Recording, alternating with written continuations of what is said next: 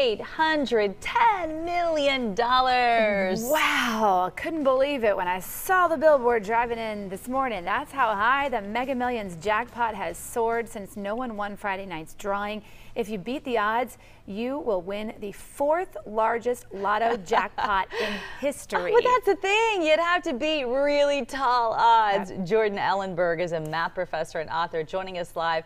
Maybe he could help increase our odds a bit. Good morning to you. What are the odds of winning a Mega Millions jackpot?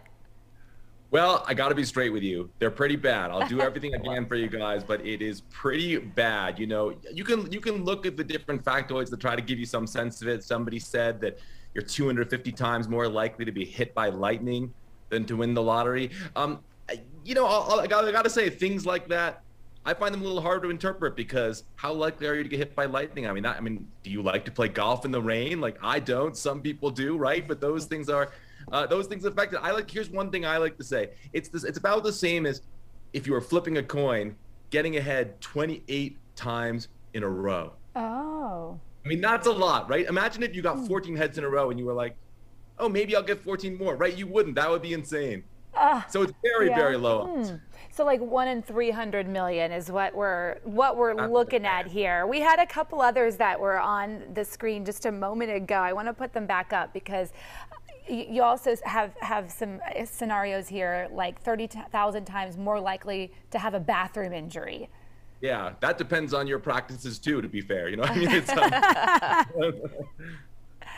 and and also, you're more likely to die by shark attack too, apparently right like all kinds of things we accept we go through life being like that's not going to happen to hmm. me all of those things are still more likely than that you're going to win uh, the mega millions tonight although you know to be fair improbable things happen all the oh, time oh, yeah, right sure. so yeah. somebody is going to win at some somebody has to point.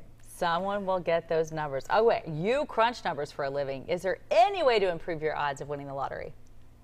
So there's a few modest things you can do. One thing is I always tell people don't pick your birthday, don't pick those numbers, don't pick a number you got out of a fortune cookie or something like that because if you're picking that number, that's a number a lot of other people are going to pick. And so the chances that you have to split the prize if you do win become higher and that's less money for you, right?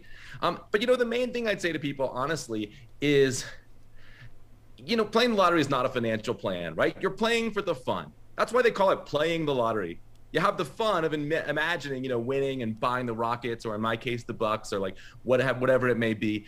Um, so what I would say to people, honestly, is if you if it seems fun to you, play, but don't buy a hundred tickets. No. Don't spend two hundred bucks. Are you gonna are you gonna have a hundred times as much fun if you buy a hundred tickets? no, no, the amount of fun you have is basically constant. you just get to imagine, wow, what if it was me? And you can get that just from buying one. So that's what I would say. If you uh, feel so uh-huh. moved take out your two bucks and that's what you should spend. Yeah, don't be the CEO uh, for, of Raising yes. Cane's who bought 50,000 apparently for all of his uh, employees, which was incredible. Yes. But still, yeah, not but everybody one for is each employee. So all those guys had fun. I think that's okay. Although yeah, they're having fun. But yeah, don't do it unless you're the CEO of Cane's. hey, this is a fun conversation. We've upped our risk. I'm not putting my birthday in. I've learned some stuff. Mm -hmm. So have a good one. Good luck to you. Yeah.